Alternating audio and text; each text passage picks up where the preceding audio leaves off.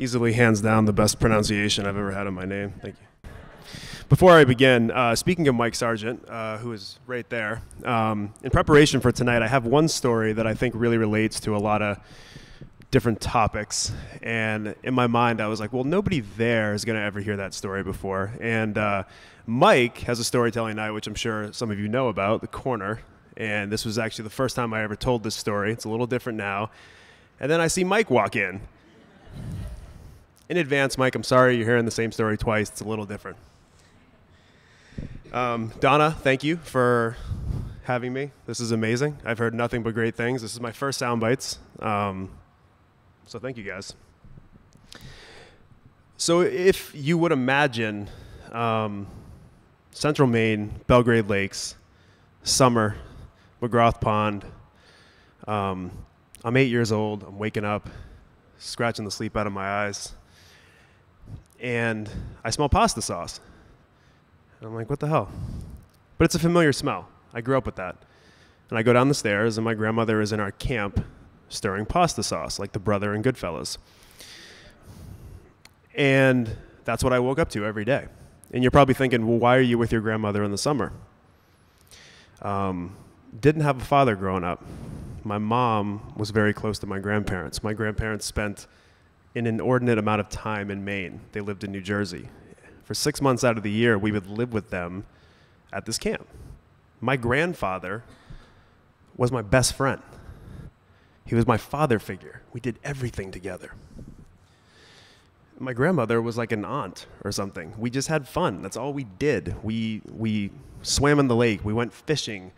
I gave my mom heart attacks by what a terrible kid I was all the time. um, to give you a little bit of an idea of the kind of kid I was, um, I was banned from the Philadelphia Zoo at age four. Um, apparently, they don't want you kicking any of the petting zoo pets. Turned out okay.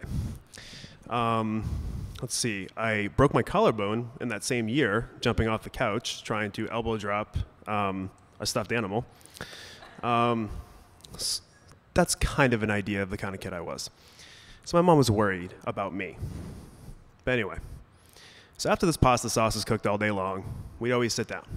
There could be relatives there, neighbors. We lived on a camp road, dirt road. Everybody knew everybody. And there was a kids' table.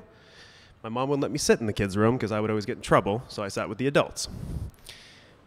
And there I was, little Kyle, sitting right next to my grandfather. Justin was his name. I called him Pop. And he would get all the food, and before he would pass it to me, he would pass it to his right away from me. And me being an eight year old and being very greedy and, and worried about eating, I need to eat, um, I would say, Pop, what are you doing? I'm hungry. Give me the, give me the food first. And he was, okay, stop, stop. And it would go around to one person, two person, three, all the way around. I was afraid I wasn't going to get fed. Finally, I'm shaking him. I'm like, Pop, why could have just? I was right here. You could have given it to me. He just looks at me and he winks. That made me so so angry. He was a he was a practical joker through and through. He loved laughing. He loved telling stories, and I was like, this guy is making fun of me. He knows I'm hungry and he's not letting me eat. So, to fast forward, I'm playing soccer youth soccer. I might be might be in sixth grade, fifth grade, and I brought lemonade to the soccer game instead of water. So I'm running around, running around. I go to get a big slug of lemonade. All of a sudden, I feel a sting in my mouth, and I spit out a hornet because he obviously wanted my lemonade too. It's sugary, it's sweet, cools you down. So I got stung in the mouth by a hornet. He took me to the hospital, brought me home. My face looks like it was swollen, put it that way. Lets me out of his old Ford F 150. I'm walking up the driveway. He swings open the door and he says, Whoa, whoa, whoa, whoa, okay, wait. Good job. Keep doing what you're doing, boy. And I was like, again, even at that age, going, this guy is making fun of me. He's making fun of me. Why else would he say that? keep doing what I'm doing. I got stung in the mouth by a hornet playing soccer. So, fast forward a little bit more. I'm in college, playing football, freshman year. We're playing an away game in New Jersey. All my relatives are there. He's there. I'm out there. First play of the game, flea flicker. It's always works, right? I'm going to catch a touchdown. Freshman, here we go. This is it. First play of the game. Ball's coming in. Dropped it. Dropped a touchdown. Also, broke my finger. Still kind of crooked.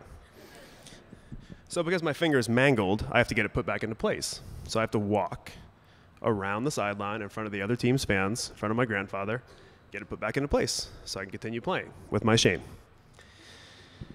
As I'm going around to get this thing put back in place, my grandfather puts his hands over his mouth, cups, and he goes, Kay, good job, boy. Keep doing what you're doing. And the fans erupt. Keep doing what you're doing, Kay. And they start mocking him, and he's just laughing. He doesn't even know. And I'm like, why would he say that? I just dropped a touchdown. Obviously, I'm not going to keep doing that. Let's fast forward some more years. Now, I touched on in the beginning how close I was to my grandfather. We were close. When I lived near him after college, I saw him a couple times a week. We went to football together. We did everything together. He was my father figure. So it was January 2014. Called him like I do every single night, Sunday night. He wasn't doing well at this time. Um, he was nearing the end of his life. He was 86. He had dementia. Um, he was forgetting things, didn't know my mom anymore. But for some reason, he still remembered me and he remembered the questions to ask me. And we had a conversation. And you know, he didn't want to talk about him. He wanted to ask me how I was doing. All I wanted to know was how he was doing. How are you doing, Pop? How you feeling? No, no, no, it's not, it's not important. How are you doing? Tell me about what you're doing. Tell me, do you, do you have a girlfriend? How's work? How you doing? For, for 20, 30 minutes.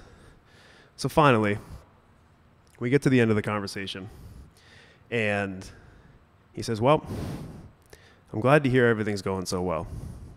I really hope I see you soon. I love you. Keep doing what you're doing, Kay. And then he died two days later. And those are the last words he ever said to me. And as time went on, I realized he was not making fun of me all those years. He was showing me how to treat other people, how to be grateful. A little thing like winking at me as he sent the plate around to let other people have food first. He wasn't making fun of me when I got stung in the mouth by the bee. He was happy because I was happy. He was happy because I loved playing soccer at that time. He knew how important football was to me. He wasn't making fun of me. He was saying, Keep going. You got this. Keep going. It's tough right now, but keep going.